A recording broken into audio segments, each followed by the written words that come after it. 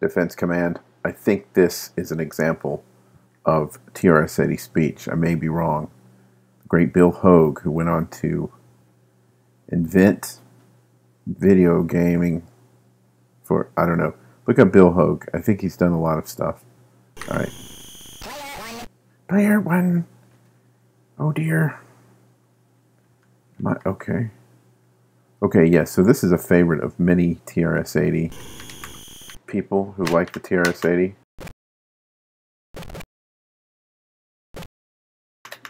This was one of my friend's favorites as a kid.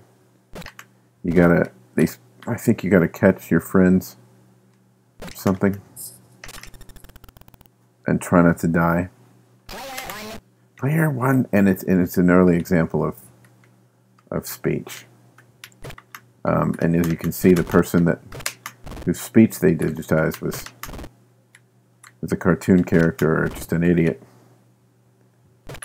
Since cartoon characters aren't real, and as we all know, idiots are very real, I tend to think it might be the latter. Come on then. Oh. Right. Oh, geez, that's a loud. That's loud in your ear when you're wearing headphones. And he says, player one. That, oh, yes, well, that's very loud. Shh, let's just be friends. This is the best part of the game right here.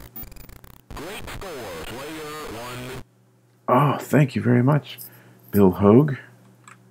Let's just call ourselves Black Billy. Can we? Oh, we can get we get lowercase on that ass.